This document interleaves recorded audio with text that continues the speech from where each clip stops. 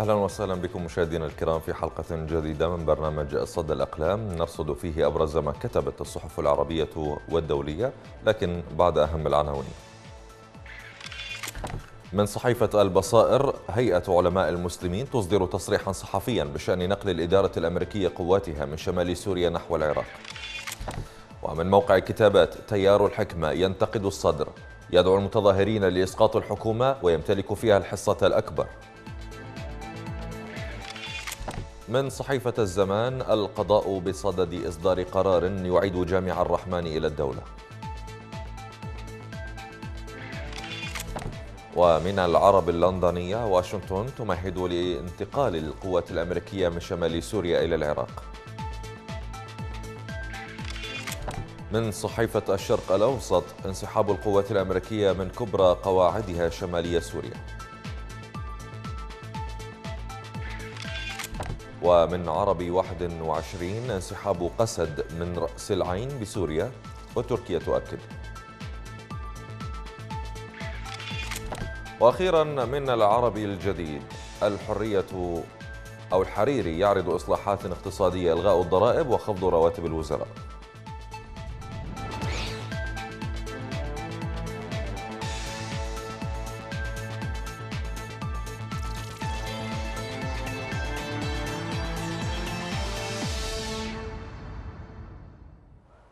أهلا بكم. شهد العراق خلال الأسبوع الأول من تشرين الأول أكتوبر 2019 موجة احتجاجات واسعة في العاصمة بغداد وعدد من محافظات الجنوب ومنطقة الفرات الأوسط. سقط خلالها عشرات القتلى. بعض الإحصاءات تعدهم بالمئات وآلاف الجرحى. حتى بعد أن تعرضت لقمع غير مسبوق. يرجح أن بعض الفصائل المسلحة الخارجة عن سيطرة الدولة مسؤولة عنه وقد طرح ذلك أسئلة عديدة عن مدى قدرة الدولة على السيطرة على الميليشيات وعن مستقبل النظام السياسي برمته الذي نشأ بعد الغزو الأمريكي للبلاد في عام 2003 تقرير نشرته صحيفة العرب الجديد. تعاملت النخبة السياسية الشيعية الحاكمة مع هذه الاحتجاجات باعتبارها تهديدا وجوديا لحكمها ولا سيما الأطراف المحسوبة على إيران والتي اتهمت التظاهرات بأنها موجهة من الخارج ضد حكم الشيعة علما أن الاحتجاجات قامت في المحافظات الشيعية وجل المشاركين فيها هم من الشيعة.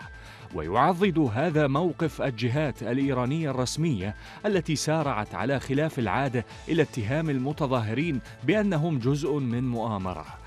وإذ ينتمي الطرف الذي مارس الاتهام وتورط بالقمع إلى الهوية المذهبية نفسها للطرف المحتج فقد كان لافتا حجم القمع المستخدم حيث سقط قتلى وجرحى كثيرون بين المحتجين فيما جرى قنص الناشطين وتمت حملة اعتقالات واسعة حتى في البصرة التي لم تنخرط في التظاهرات هذه المرة رغم وصفها بعاصمة الاحتجاجات في العراق. ونظرا إلى أن النخبة الشيعية الحاكمة تعاملت مع الاحتجاجات بأنها تهديد وجودي فإن ذلك يفسر شدة القمع الذي شهدته الحركة الاحتجاجية والذي مثل تحولا نوعيا في القمع والعنف الذي تمارسه السلطة ما بعد عام 2003 فضلا عن الاعتقالات وقطع الإنترنت وتقييد الحركة ما ظهر لكثيرين أن رده فعل السلطة هذه تطيح بمكتسبات الحرية النسبية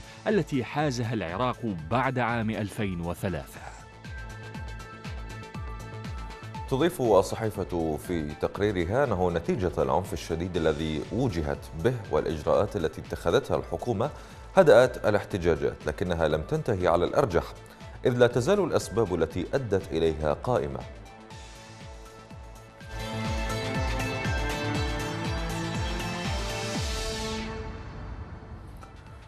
قالت هيئة علماء المسلمين في بيان نشره موقع الهيئة نت إن إعلان الولايات المتحدة نشر قواتها في العراق بعد انسحابها من سوريا هو استغلال لتبرير وجودها غير المشروع. وأكدت هيئة علماء المسلمين في العراق على ذلك. أوضح قسم الإعلام في تصريح صحفي أن وزير الدفاع الأمريكي مارك إسبر كشف عن خطة لسحب كل القوات الأمريكية من شمال سوريا وإعادة تمركزها في غرب العراق لمواصلة الحملة ضد تنظيم الدولة والمساعدة في الدفاع عن العراق. بحسب قوله وبينت الهيئة أن هذا القرار الأمريكي يتناقض تماما مع مفهوم السيادة الذي تدعيه الحكومة الحالية. ويظهر بشكل فاضح حقيقة السيادة العراقية وتبعية القرار الحكومي للاحتلالين الأمريكي والإيراني مشيرة إلى أن هذه حقيقة لا يمكن إنكارها في ظل التدخلات الأمريكية والإيرانية المكشوفة والمعلنة في العراق. ورأت الهيئة أن هذا الإعلان يكشف أيضا عن الاستغلال الأمريكي والحكومي لملف ما يسمى الحرب ضد الإرهاب. لتبرير الوجود غير المشروع في العراق الذي يتخذ ساحة لترتيب أوضاع الأطراف الدولية والإقليمية المتصارعة في العراق. وتقول الهيئة إن إعلان الولايات المتحدة عن خطتها لسحب قواتها من سوريا وإعادة تمركزها في العراق هو استغلال لملف ما يسمى الإرهاب لتبرير وجودها غير المشروع في العراق.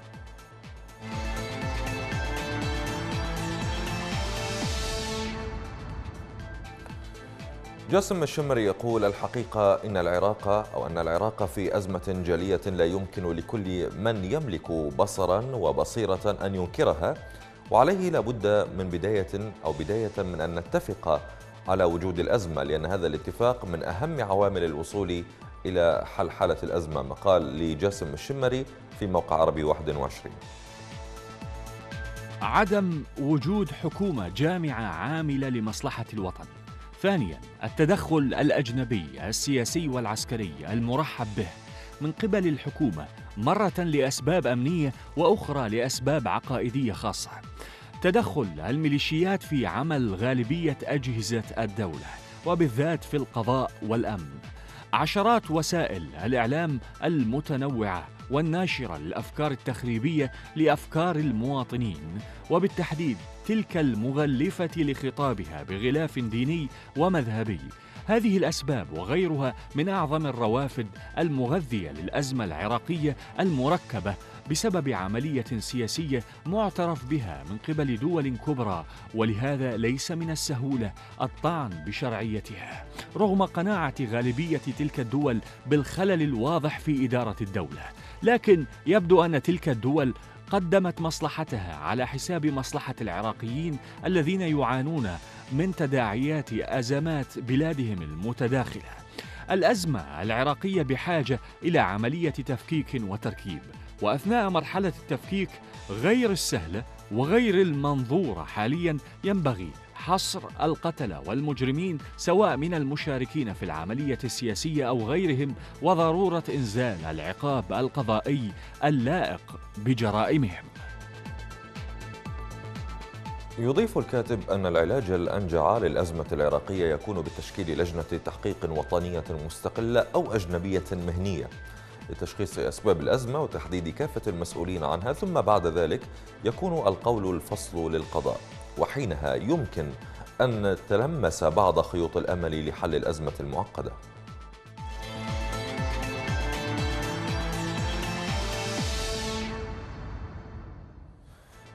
في اليوم الأول من انتفاضة تشرين الشعب العراقي لم نشهد أي تغطية إعلامية أمريكية أو أوروبية لهذا الحدث رغم أهميته في تاريخ العراق والمنطقة العربية.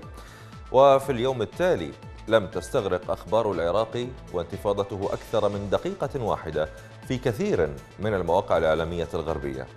عن انتفاضة التشرين وأهميتها كتب آدهم إبراهيم في موقع كتابه.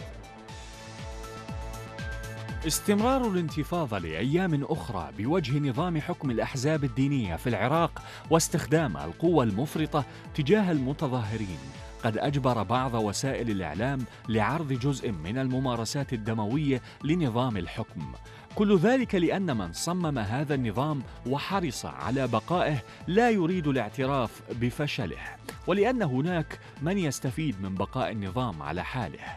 ولسان حاله يقول ما دام الشعب راضي فالكل مستفيد وخصوصا أمريكا وإيران راعيتا النظام وإدامته. إلا أنهما بهذه الانتفاضة الشعبية قد وقعوا في ورطة. فالأمريكان صحوا من غفوتهم فوجدوا دماء وشهداء على أبوابهم فطالبوا بضبط النفس. أما الإيرانيون فقد استكبروا ووصموا انتفاضة الشعب في وجه دكتاتورية الأحزاب وعمالتها بالمؤامرة لأنهم استكثروا على العراقيين المطالبة بحقوقهم المشروعة وهم ما زالوا يمتصون دماء الشعب العراقي ويخدروه بالدين والشعارات التي لم تعد تنطلي إلا على الجهله والمستفيدين. ولذلك أوعزوا لخدمهم في العراق لقمع هذه الانتفاضة بالعنف المفرط وأرسلوا قناصيهم لحصد رؤوس الشباب. شباب العراق الواعي لحجم الغبن الذي لحق به نتيجة استغلاله من قبل حكومته التي أثبتت عمالتها لإيران لضمان بقائها في السلطة فجعلوا العراق محافظة تابعة لإيران وقدموا مواردة المالية الضخمة لها. إن أعمال العنف غير المبررة تجاه المتظاهرين وسقوط العديد من الشباب العزل وغلق الإنترنت لمنع توثيق الاعتداءات الدامية بحقهم قد لاقت انتقادات من منظمة العفو الدولية ووصفتها بالانتهاكات الوحشية لقوات الأمن العراقية تجاه المحتجين السلميين. وطالبت بإجراء تحقيق مستقل وحيادي في استخدام قوات الأمن للقوة المفرطة.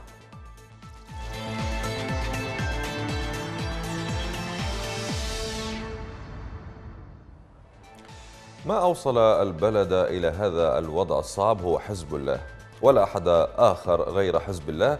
كل الباقي تفاصيل مملة وبحث عن أعذار لتبرير عملية وضع اليد الإيرانية على لبنان.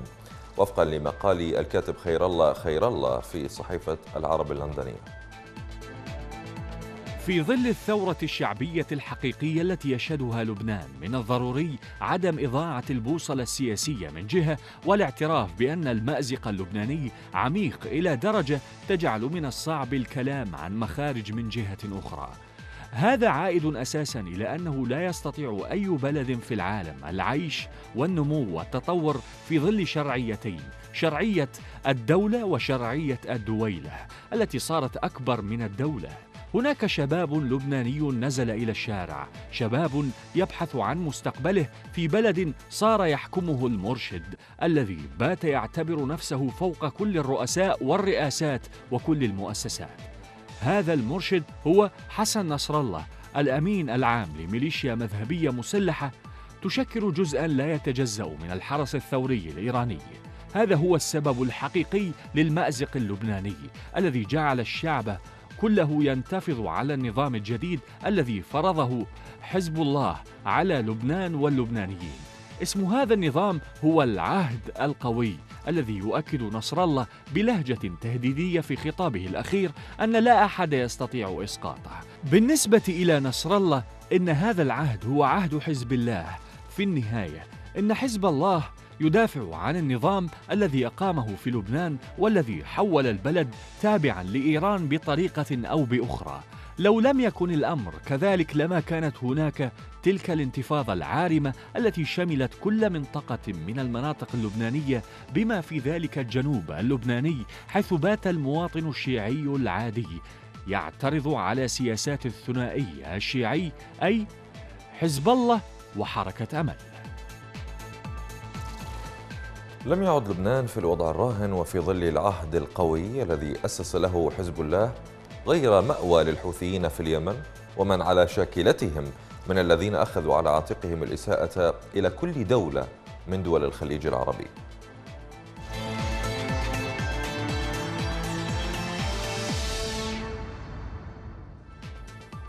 علق الصحفي البريطاني المقيم في بيروت منذ عقود روبرت فيسك على الاحتجاجات الحاشدة التي عمت لبنان مطالبة برحيل الحكومة قائلا أعتقدت أن هذه الأيام التي كنت أركل فيها الإطارات المحترقة من الشوارع قد انتهت فقد كنت أن أنظف الطريق في بلفاست في عام 1971 وفعلت نفس الأمر في بيروت.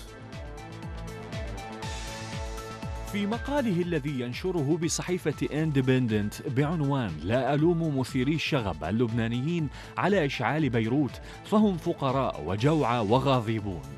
أضاف أن سائقه سليم انتظره بصبر وهو يصافح مسلحا محليا ويوضح له السبب الذي يجعله يريد الوصول إلى الدامور التي تبعد 12 ميلا عن العاصمة بيروت. ورفعت في وجهه بطاقة الصحافية اللبنانية وقمت مستخدما حذاء البني بركل إطاراته المشتعلة من الطريق السريع مضيفا أنها كانت حارة ومجرد النظر إليها أضر بعينيه. ويعلق فيسك بأن هذا يقول كل القصة ولا ألومهم على أعمالهم فلبنان لم يكن أبدا بلدا غنيا باستثناء التجار السنة والمصرفيين المسيحيين. فهؤلاء ليس لديهم قوت يومهم وقاموا لعدة أيام بالاحتجاج على وضعهم. فقد انخفضت قيمة الليرة اللبنانية وزادت أسعار الطعام. ولم أندهش لكل هذا. ولكن كان هناك شيء مفاجئ بشأن كل هذا. فقد اشتعلت النيران في لبنان وعلى مدى الأسبوع حيث اشتعل اللهيب في أشجار الصنوبر مصدر الفخر اللبناني وسفوح الجبال الرائعة.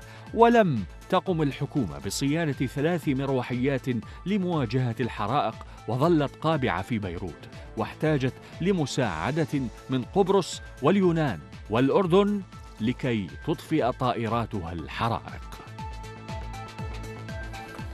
يتابع الكاتب قائلا إن كل الشقق في العمارات الكورنيش أو في عمارات الكورنيش في بيروت حيث يعيش أو شارع باريس فارغة تقريبا باستثناء العمارات الصغيرة التي يشترك فيها الناس مثل عمارته ولا شيء سوى الظلام. ويمكن قيادة سيارتك من الشارع حتى مركز بيروت ولا ترى إلا الظلام. لأن هذه العمارات والشقق هي استثمارات للعراقيين والسعوديين والسوريين الذين لا يعيشون فيها.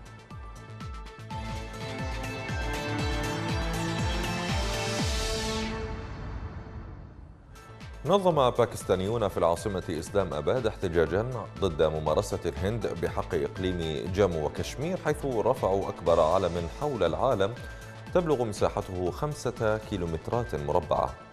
الاحتجاج الذي نظمته حركة التضامن مع جامو وكشمير واتحاد شباب كشمير جرى في المنطقة الحمراء التي تضم مباني رئاستي الجمهورية والوزراء ووزارات أخرى.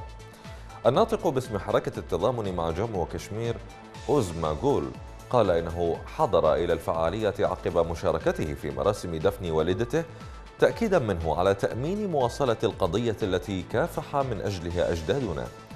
وأضاف أنهم يهدفون من خلال رفع أكبر علم حول العالم للفت أنظار إلى الحصار الذي يشهده إقليم جامو وكشمير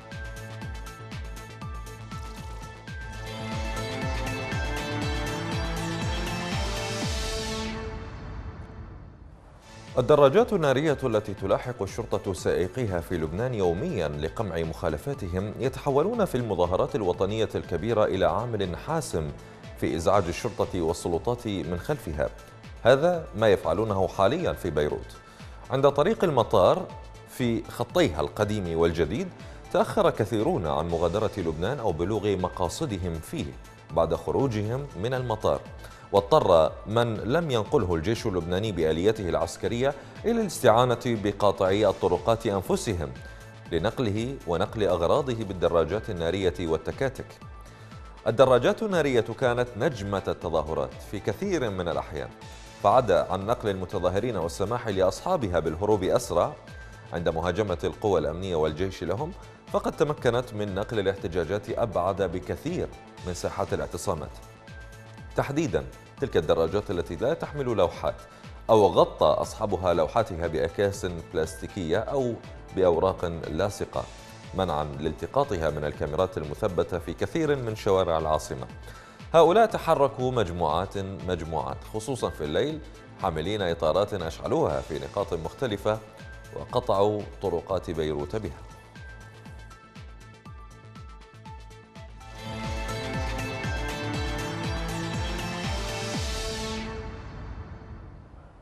الآن نتابع الكاريكاتير.